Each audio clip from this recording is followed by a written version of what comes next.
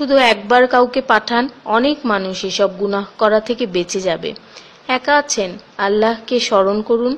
কষ্টে আছেন, মোহাম্মদ আলে মোহাম্মদের উপর দরুদ পড়ুন। মন খারাপ থাকলে ইয়া হাইয়ু, ইয়া কাইয়ুমও পড়ুন। টেনশনে থাকলে ইয়া রাহিমও পড়ুন। ফ্রি থাকলে মেসেজটি ফরওয়ার্ড করুন। হে আল্লাহ, আমার উপর এবং তোমার নবীর উম্মতের সকল সদস্যদের উপর তোমার রহমত বর্ষণ করো। আমিন। তথ্য আপনি কি জানেন, পবিত্র কোরআন শুনলে ক্যান্সার হয় না? আর যদি ক্যান্সার সেল শরীরে থেকেও থাকে, তাহলে তাও মারা যায়। দীর্ঘ সময় ধরে আল্লাহকে সেজদা দিলে জ্ঞান ও বুদ্ধিশক্তি বাড়ে। মাথা ব্যথার সমস্যা হয় না, চুল পড়া দূর হয়ে যায়। এই মেসেজটি ফরওয়ার্ড করতে শয়তান আপনাকে বাধা দিবে, কিন্তু আপনি এটা হতে দিবেন না। আর সব কন্ট্রাক্ট নাম্বারে সেন্ড করে দিন।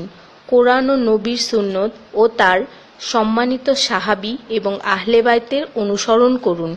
ক্যান্সার একটি ভয়ঙ্কর রোগ।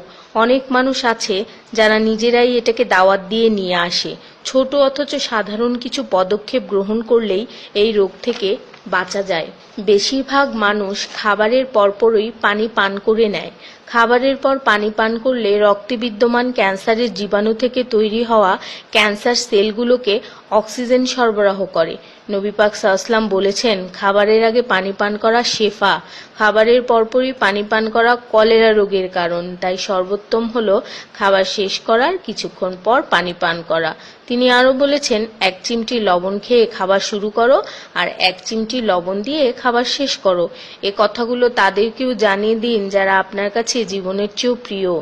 যদি কোনো ব্যক্তি ঘুমানোর সময় একুশ বার বিসমিল্লাহির রহমান রহিম পরে আল্লাহ তখন ফেরেস্তাদেরকে হুকুম দেন, এই ব্যক্তির প্রতিটি নিঃশ্বাসের বদলে নেকি লেখা হোক। আপনার মোবাইলে যত নাম্বার সেভ করা আছে, তাদের সবাইকে এটা ফরওয়ার্ড করুন। আর তখন দেখবেন কত মানুষ আপনার কারণে বিসমিল্লা পড়ছে। শেফা আর শেফা। রোজ একটা করে আপেল, নো ডক্টর। রোজ চারটা বাদাম, নো ক্যান্সার। রোজ একটা লেবু, নো ফ্যাট। রোজ এক glass milk, no bones problem. রোজ বারো গ্লাস পানি, নো স্কিন প্রবলেম। রোজ চারটা খেজুর, নো উইকনেস। রোজ পাঁচ ভক্ত নামাজ নো টেনশন রোজ কোরআন, অর্থসহ, তেলাওয়াত happy and happy so don't stop forward please স্কিনের জন্য অজুর পানি, হার্টের জন্য কোরআন তেলাওয়াত, স্বাস্থ্যের জন্য নামাজ, আর খুশি থাকার জন্য আল্লাহর জিকির করুন। জেনে রাখবেন, ভালো কথা প্রচার করা সৎকার সমতুল্য।